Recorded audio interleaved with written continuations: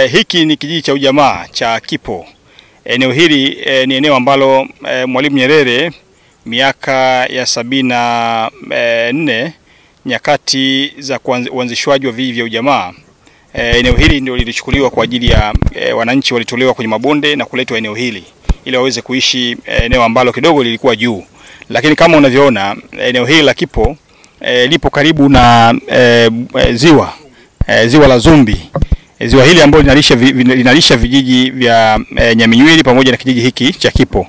E, kama ambavyo tumeendelea kuwa tukishauri e, kwamba iwapo tuna, tunatarajia kabisa mradi wetu wa umeme uweze kukamilika ndani ya miaka mitatu ambayo Mheshimiwa Rais yeye amedhamiria, basi ni lazima barabara hii iweze kutiwa lami, iweze kutengenezwa kiwango kizuri cha lami ili magari yaweze, yaweze kupita kwa, kwa, kwa, kwa urahisi zaidi. Kama unavyoona hapo nyuma, hii ni shehena ya magari ya Dangote ambayo E, yako mengi e, hii ni sehemu moja tu, lakini yako mengi sana yenye yaliyokwama. Ni shehena ya e, magari yenye simenti ambayo imeshaandaliwa tayari kwenda kumwagwa, lakini yamekwama hapa, na zipo gari karibu mia mbili e, ukiachana na hizi ambazo zimebeba zime, zimebeba simenti ambayo iko tayari, lakini zipo ambazo zimebeba simenti ya kwenye mabegi ambazo zinakwenda kwenye mradi. Kwa hiyo e, wananchi wa Rufiji e, kwa kweli E, sisi tuna masikitiko makubwa, hatuna e, namna ya kufanya kwa sababu tunajua kwamba mvua hizi ni kubwa ambazo zimeendelea kunyesha e, maeneo nyanda za, za juu kusini. Kama unavyoona hali ya hewa hapa, jua ni kali sana, kuna mvua Rufiji, lakini maji yameendelea kuingia kwa kasi sana.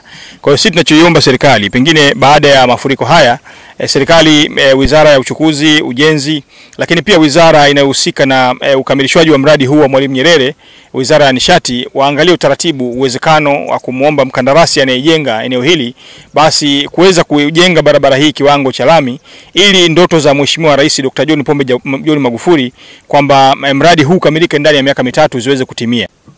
Mnajionea hali halisi ya eneo hili la kijiji cha Kipo, kata ya Kipugira, kwa namna ambavyo magari yamekwama, yalikuwa yanapeleka shehena katika mradi wetu wa Sigla Goji kwa maana kwamba mradi wa kuzalisha umeme Rufiji Mwalimu Nyerere.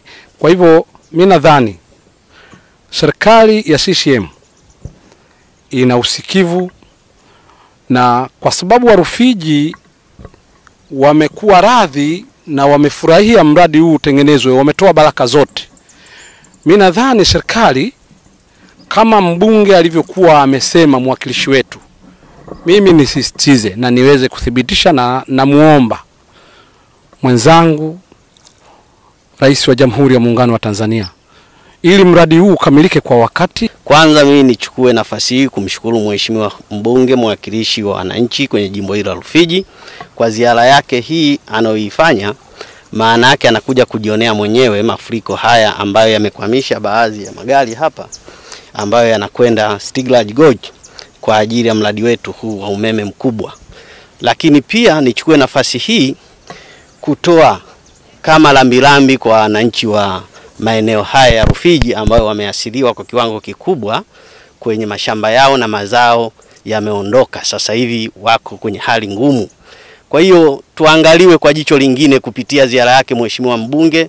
Nafikiri atakuwa anazungumza na wananchi hao, atawasikia wenyewe maoni yao, basi tuchukuliwe nafasi fulani hivi namna ya kuangaliwa kwa maana ya kuwasaidia watu, maana sasa hivi hali zao si nzuri za kichakula. Kwa hiyo tuchukulie ziara hii naye pia iwe sehemu ya kupata maoni ya wananchi na wanavyoomba msaada, na kupitia ziara yake basi sehemu zenye vyombo husika viangalie namna kuweza kuwasaidia Warufiji hawa, maana washakwama na sasa hivi wamerudi wote mabondeni, wako kwenye sehemu hizi za magongo ambazo zimeandaliwa na serikali katika mfumo ule wa vijiji vya ujamaa wanaishi hapa, lakini bado wanaishi katika hali ngumu, hawana chakula, na wengine kwa sababu makazi yao yalikuwa ya kudumu kwenye mashamba huko, sasa hivi wamekuja humo wametengeneza vibanda.